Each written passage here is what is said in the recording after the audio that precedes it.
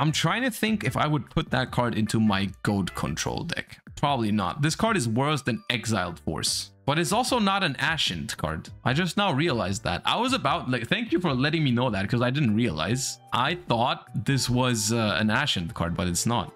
This is just a TCG, uh, like a world premiere card, right? But this is Ashen, right? This is a Veidos. Okay, let's read the Veidos. Uh, level 10 Dark Pyro Fusion effect. Um, materials, Veidos, the Eruption Dragon of Extinction, plus two level 9 or lower Pyro monsters.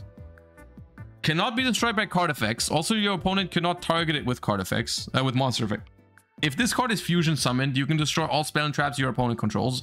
When your opponent activates a card or effect on the field quick effect, you can send a face-up Ashen card you control through the grave, destroy that card. You can only use this effect of Veidos, the Dragon of Endless Darkness once per turn. Okay. This card... Um... This card is not good. But hear me out. Hear me out, guys. Hear me out. I I have some hope I have some hope because the uh, I think what this card is all about is not that the effect is actually good. I think what this is going to be about is how you summon this. Because as, far as I'm concerned, as far as I know, we don't know what the Ascent Fusion looks like, right? The spell we don't we have no idea we didn't even know what the what the that the archetype had fusions right because in the first wave it had nothing to do with fusions right i think that the because because it specifically requires Veidos, right? And Veidos's entire thing is to summon Veidos on the opponent's field, right? There has to be a way. In my mind, it would be incredibly stupid if they don't make the fusion spell like able to fuse with your opponent's Veidos or something like that, right? In which case, what you want to do with this is you want to like you want to summon Veidos to their field, right? Let me let me pull up Veidos real quick. Veidos Veidos, the Eruption Dragon of Extinction. Hold up. During the main phase, if this card is in your hand, quick effect, you can target a card in a field zone, special summon this card to your opponent's field. If you do destroy that card, then you can add to your hand or set one Ashen continuous trap from your deck. If this card is sent from your opponent's field to the graveyard, destroy a monster on the field. So what they want you to do, surely, is you you, they, you give your opponent the Veidos, and then you fuse with that Veidos, which blows up your opponent's entire field, right? Um, and then uh, this thing also destroys all spell and traps your opponent controls, right? So this destroys all monsters. This destroys all spell traps. There you go. You've wiped your opponent's entire board. Surely. The field spell makes your opponent's monsters pyro. Okay, hold up. Let me bring up Obsidian as well. Obsidian, the Ashen City. Face up special summon monster your opponent's controls become during your turn. Yeah, there has to be. Literally, there has to be a way to to summon this guy. Like the fusion spell needs to needs to do that. If they don't do that, if if that if that does not do that I I'm losing all all faith in in their card design. Like if it doesn't do that, it it makes no sense at all. No sense. No shot. The card you're looking for is called Super Polymerization. I mean, yes. Yes. Um, but it would still be incredibly weird if they didn't include it in the archetype, right? Because that is not a super poly is not part of the archetype. You don't just design a new archetype like Ashen and then make it only like make the fusion monster only good because of super poly synergy. I don't know. That I I, th I think there needs to be a cool way to make this thing is what I'm trying to say. Like there needs to be a cool way of summoning this fusion monster and then it's fine because itself Like you're never gonna go through the motions of summoning this with like a regular ass fusion summon, like with your own cards. I'm not fusing away three monsters, including my own Veidos, to make this guy. Because Brother in Christ just activate Harpy's Feather Duster.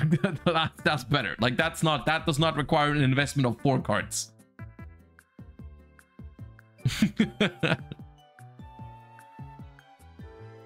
I don't know exactly how you're going to be able to summon it, but we have to wait.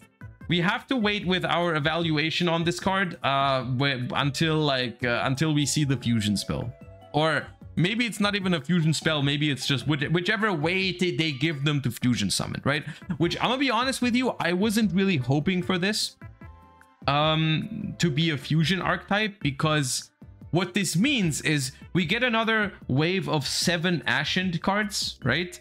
And I would have liked them to make more good main deck Ashen cards, uh, just because we need a high density of good Ashen cards to make the deck playable.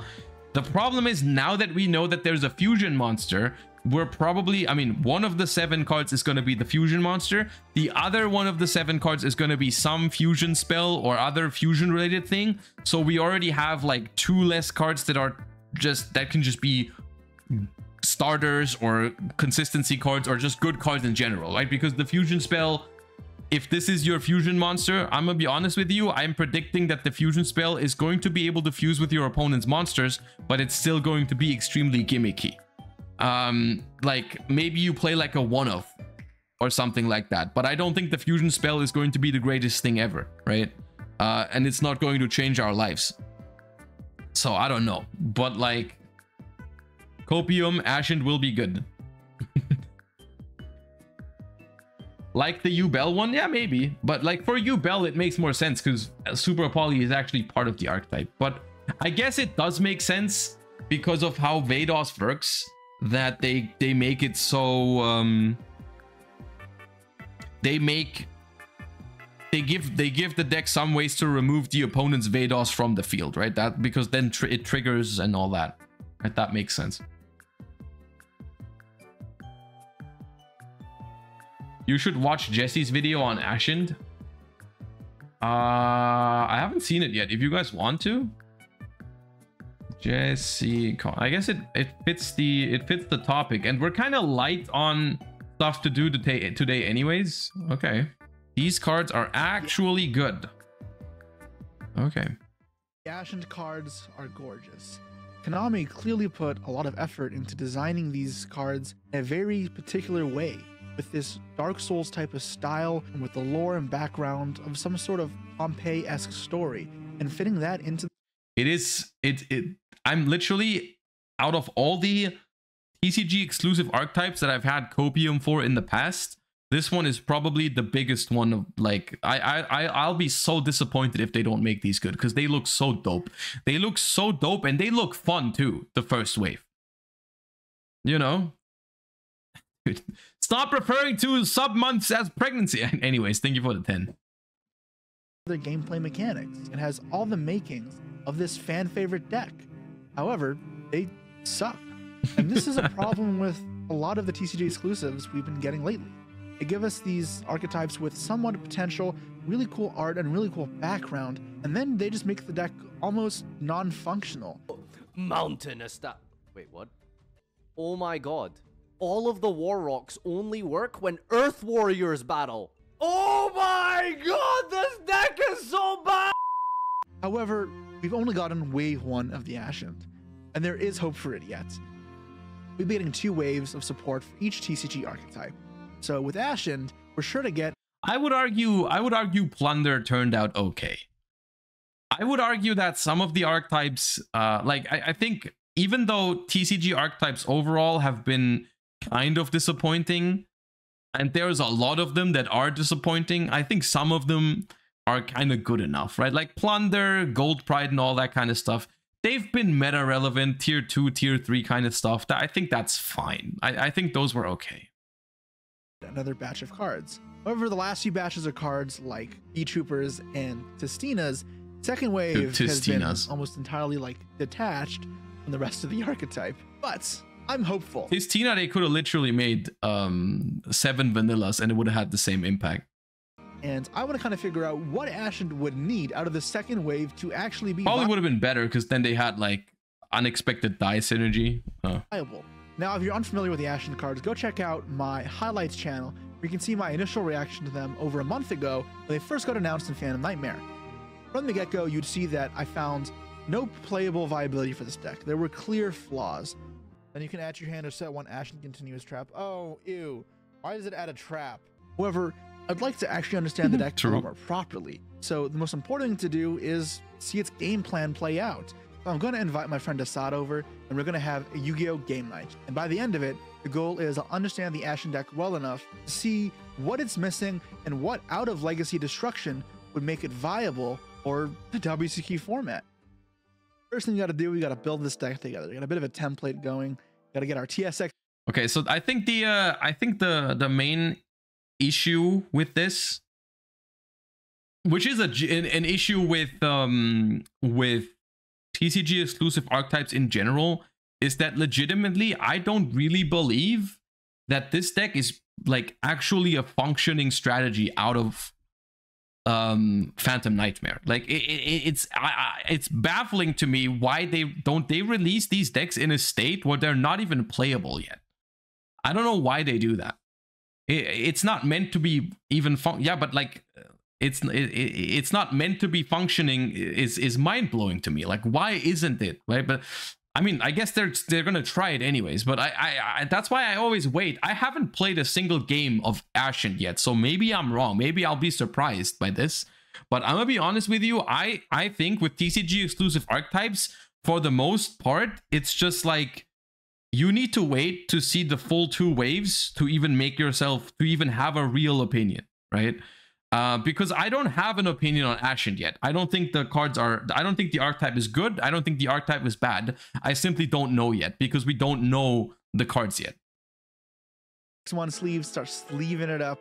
What's better than our good old fashioned TSX1 Supreme Pro sleeves?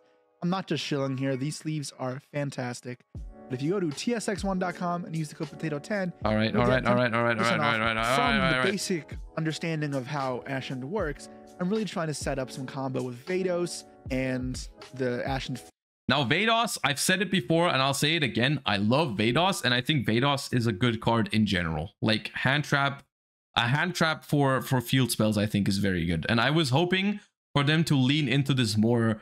Um, like honestly, I think it'd be dope if they made another one that kind of functions like Veidos, because I think if you make the deck, um, if you give the deck multiple cards that could function as hand traps against field spells, that would be cool.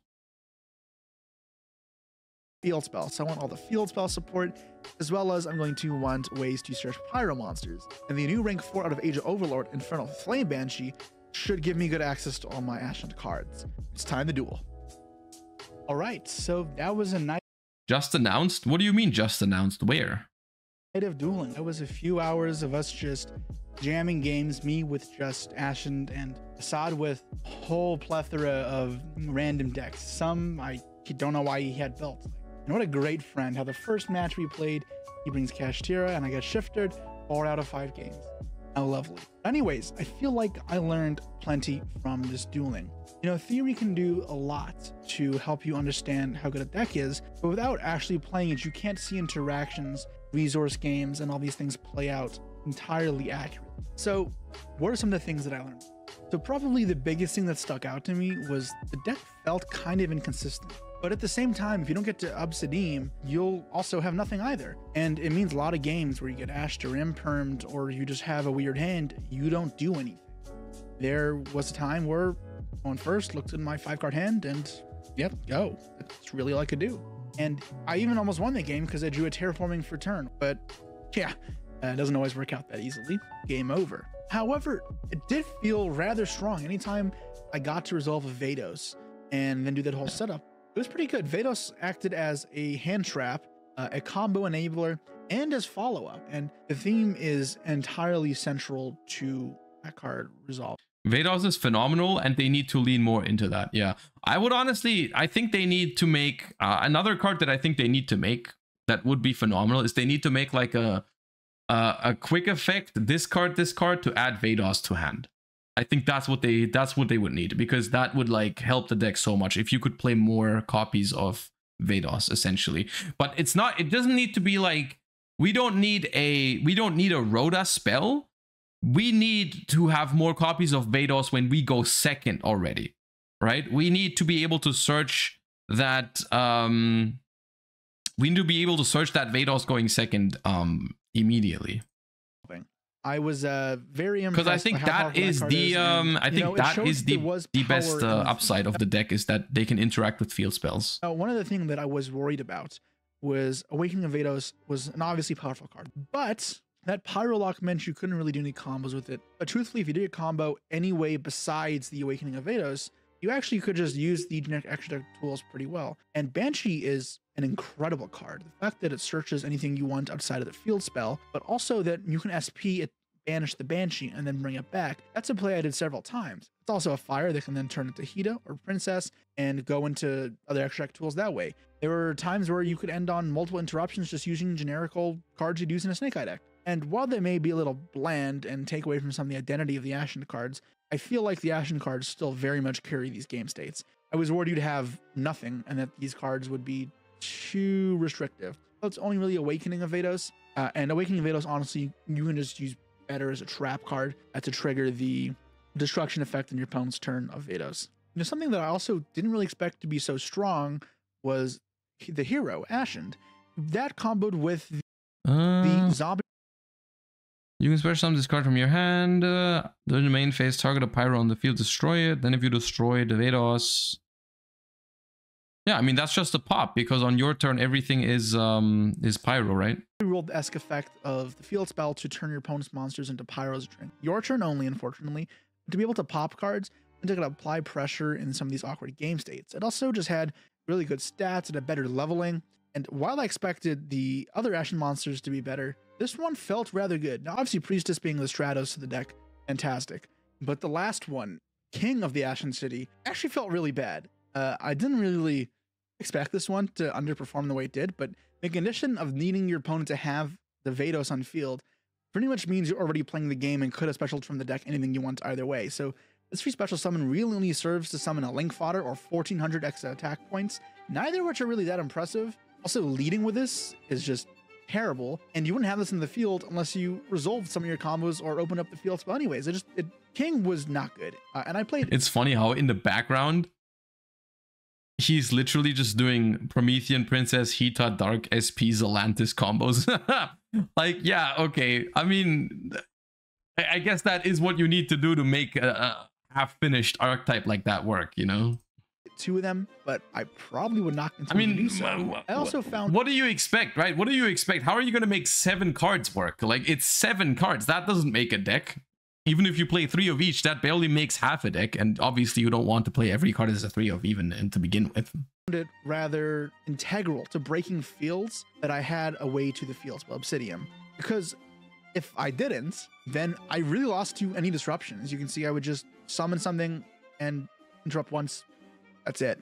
But when I had the field spell, I felt like at least in this current meta, there weren't great ways of stopping me, and I could usually bridge a way to get through my combo, which is kind of nice. And then with the field spell, I could just summon monsters. Now, what I took for granted is the Ashen cards don't activate, so special summoning them, you can go into some pretty cool lines.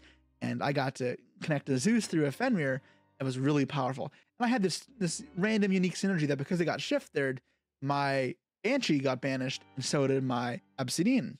Obsidian says when it's banished or destroyed. Now, I imagine the banished clause is in there protected from Cosmic Cyclone. However, it doesn't say when it's sent to the grave. So if I just used it away under normal circumstances, I would have got nothing. And you know, even though it didn't happen too often, there were many times where look at my hand, I had access to a Banshee because I drew Aratama, or I had Bonfire, and that's about it. And if they just have a way to choke me on the ring four to stop me there, I'm not going to be able to set up any sort of field. Not only that, but sometimes Aratama alone just didn't do anything. There's there's not one card combos in this deck. You have to pair stuff together, so it can be kind of awkward. Not every combination does something good. Because say you had Veidos plus Aratama, well, what does Banshee search you? If you get the Agnimal, you can make Little Knight. That's pretty much all it is. Little Wasn't Knight. liking the bit of anti synergy there, but I feel like you need that rank 4 engine because without Banshee, you can't access Veidos enough at the time. So I don't love that it kind of didn't mesh fully how I'd want. That being said, we played a bunch of games and I think I was up overall the night. And I think some of that is because I had a good matchup versus Kashtira. Veidos into Kashtira if they have to play Field Spell is really funny. One of the games, I just bricked them entirely. The deck wasn't terrible. And when I got the engine going, the engine was solid. It, it developed some interrupts. It developed a bit of pressure. You know, it wasn't always super easy to kill, and sometimes I had to leave my opponent alive. You didn't have too many restrictions, so you still could access powerful extra deck monsters. You know, I could combo into Zeus. I also felt like I had solid disruption. I could fit hand traps in, and Veidos, when paired with other stuff, could act as a pretty good hand trap. So with that in mind, how do we fix that now? How do we say with the new support from Legacy of Destruction, what is needed for it to be good? So I think the biggest thing I am looking for is just another bomb. Veidos and Obsidian feel really good, and so does Awakening, but these cards aren't fully searchable at all times. and It's not a great way to mesh it all together. I would like one of the card that's like Awakening of Veidos or Veidos or another field spell that does something somewhat proactive. Because for one, it means you can't get choked super easily with hand traps. Because if you get stopped at an early point, they'll snuff you out. You just can't do anything. There's no other lines like Unchained where you can go non-linear combos start progressing the game. It's not really possible this What is deck. that? And another bomb would give you another option, another path to take when the first one gets stopped, while also increasing consistency and power. I also ran into a problem where once or twice I couldn't cycle cards the best. The big problem was prosperity and consistency issue, but I'm forced to play prosperity in these pot cards, and then I couldn't use Obsidian's bonus effect to draw a card, and it also hurt my resource game. Uh, that kind of left me in a bit of a weird spot uh, once or twice where I ran out of field spells and I almost couldn't do anything. Now that trade-off was worth it most of the time, but if I didn't have to make that trade-off because my deck was more consistent, that would also be fantastic. I think I'd also like some more names for the deck. Now, especially if I'm getting a second field spell that counts as Obsidian while in play, and some more names to make rank fours a bit easier or make better extra deck monsters without playing stuff like Ar I think that's not that's not super unlikely that they give you another thing that counts as Obsidian because they did remember they did the same thing with um with Horus right where the entire deck was super focused on having the uh the King Sarcophagus and so they gave him a field spell that says I count as King Sarcophagus uh, so I think uh, I think that could be that could be something they could do. Like maybe they make a continuous spell that is solid, but also counts as Obsidian. I could see that. Tama. Or just like a, a continuous spell that gives you like when you activate this card, you can activate Obsidian or something like that. had, say, another level four to combo with Priestess, uh, then you could go Ashen Priestess Like the Fire King one, and Sanctuary. then turn that into Banshee, and you know, set up some SP plays there and, and do some link up plays. And if that new level four, you know, also does something proactive, like Veidos, for example, They give you an undestroyed city, dude. Wouldn't that be wouldn't that be kind of funny if if they made like because Obsidian is like the destroyed city, right? And they just make like a a fresh version, quote quote unquote, like uh, uh the the or like not fresh, but like a non-destroyed city, and then that one turns into the destroyed city if you do something. That'd be pretty cool, wouldn't it? You have to like I, I don't know what you have to do, but like it like eh, I don't know if this card gets destroyed or something, then you can tutor out the other one or something like that. I don't know. maybe lock it just into Veidos. So you have to to Obsidian, the near mint then that'd be city, yes. fantastic. The other thing I'd like to fix is to add some sort of recycling into this deck. If you have a way to put back your high-leveled Ashen monsters and maybe a bit of an upside like draw card as well, Pot of Avarice-esque effect, that'd be fantastic. Now this card would need to be searchable, otherwise it'd be probably pointless.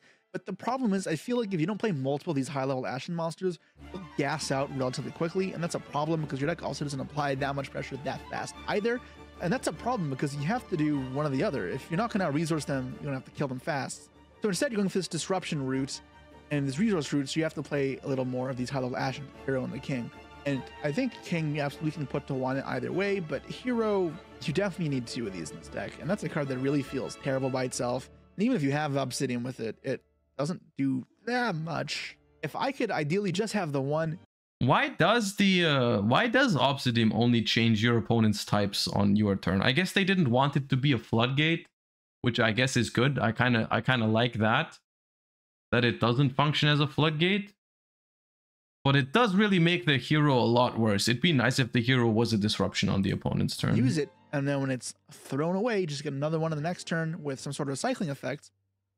Yeah, But no, I get it. I, I get it. Yeah, but then maybe they should have made the hero a little bit better. They could have just the hero could have just said if you control Obsidian, quick effect, target a monster on the field, destroy it, or something like that. Right? your trap card, Ashen for Eternity, it only adds back when it's activated. So it's not like super, super flexible.